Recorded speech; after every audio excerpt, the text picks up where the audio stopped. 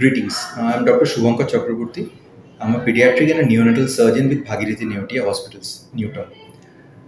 So, we all have heard of the term called microsurgery, which is a colloquial term for you know laparoscopic or thoracoscopic surgeries, which basically are minimal access surgeries.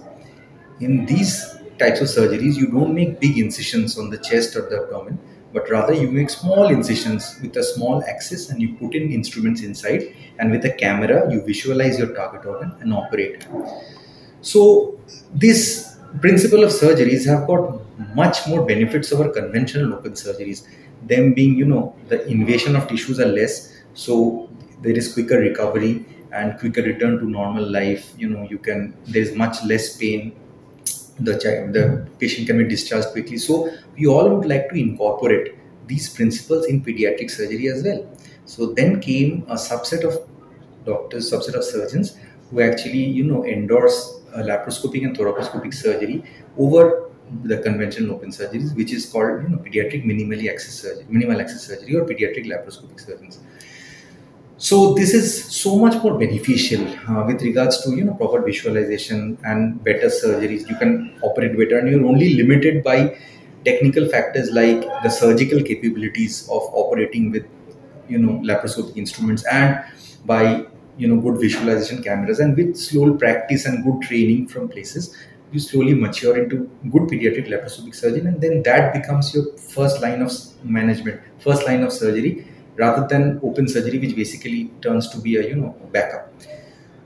So uh, it's important that the child who undergoes a laparoscopic surgery you know is monitored very well during the operation because you need to have very good pediatric anesthetists who monitor the carbon dioxide gas that's given in and that's taken out and all these principles. So your child needs a very good pediatric anesthetist and also with regards to the instruments they must have very good you know very delicate instruments to naturally work with delicate tissues of the body. And you know surgeons also principally they need to be very akin to working in small working spaces with very low carbon dioxide pressures. And you know you must have visualization of target organ do very proper dissections.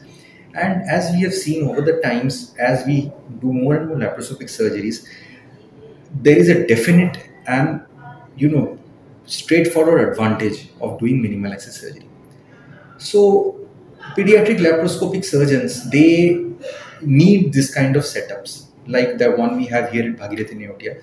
They've got very good, you know, laparoscopic instruments. They've got very good techno- technicians who can, you know, help you out in troubleshoots.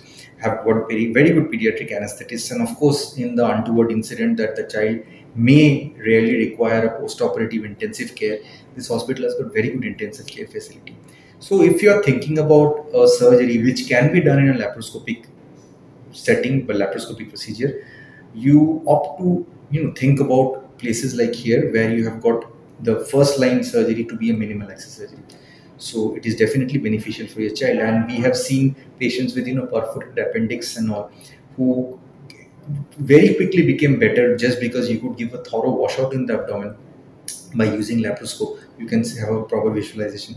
And we perform so many kinds of surgeries laparoscopically like appendicectomies and gallbladder surgeries. We do orchidopexies we do hernia surgeries we can do fundoplications we can do hypertrophic pyloric stenosis surgeries all this can we can do pyeloplasties the kidney surgeries all this can be done laparoscopically.